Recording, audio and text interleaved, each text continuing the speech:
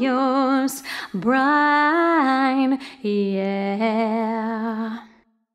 One happy birthday dot com.